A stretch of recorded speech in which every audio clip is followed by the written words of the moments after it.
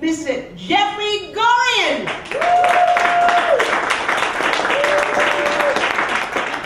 But you know, we come from all over the world, but we share similar traits in common. And it's true, I don't care where you're from, we're all the same really, and we all share similar traits. As people, we tend to exaggerate. Now think about it. How many times have you gotten that call from a friend who tells you he was almost killed, but he wasn't even hurt? Almost killed. He has the nerve to tell you he was almost killed and he wasn't even hurt. And they all have some weird story, but it all ends the same way. And one more inch, and I would have been killed. I'm like, listen, if you're going to tell people you're almost killed, at least have the decency to be severely injured. or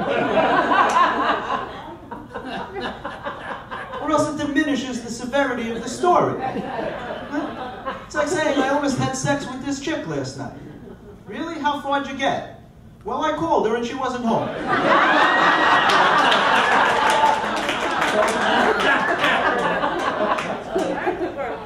But if she had been home, I would have totally nailed her. Which is a very romantic expression, used mostly around Valentine's Day. and it had to be created by a guy.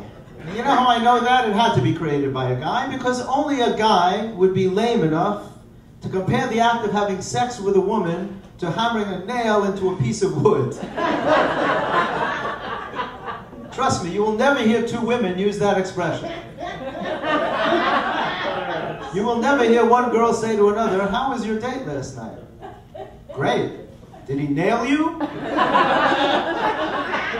You will never hear that. And if you do hear that, change who you're hanging out with. Because it's a bad crowd. Very confusing. But a lot of things are confusing to me.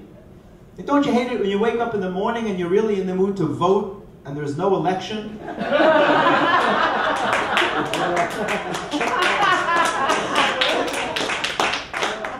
Let me leave you on this. I, uh, a lot of people tend to say that chivalry is dead.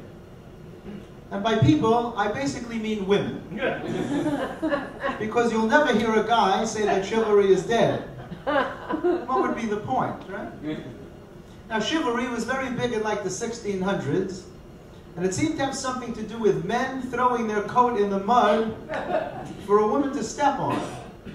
Like, who came up with that bright idea? Dry cleaners? How would that even work? What were coats made of wood in those days? You throw your coat in the mud, it magically turns into a ram. Ship just glides over the puddle. Seriously, picture this scenario. It's the 1600s. You're walking with this chick. It starts to rain. You come up against the puddle. She starts looking at you. You're like, hey, I just got this coat. It's a brand new coat. So I, I got a better idea. Why don't I keep the coat and you walk around the freaking puddle? you selfish bitch. I gotta sacrifice a perfectly good coat to prove to some chick that I'm polite?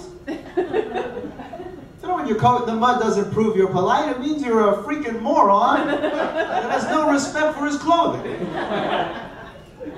I mean, seriously. It's like, oh, well, then, what if you do throw it in the mud? Then what do you do? Just leave it there? You play it off like you don't care? Oh, that old coat? I got millions of coats. Coats mean nothing to me. Yeah, what if you were dating a few girls and it was a bad winter? You're supposed to get all those coats What if you're dating a girl and she knows you have a clean coat? You show up at a house one night and your coat's filthy. She's like, you bastard, have you been cheating on me? Because no guy throws his coat in the mud for another guy.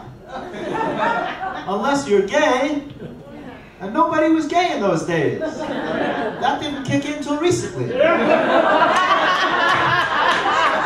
Anyway, you guys have been wonderful.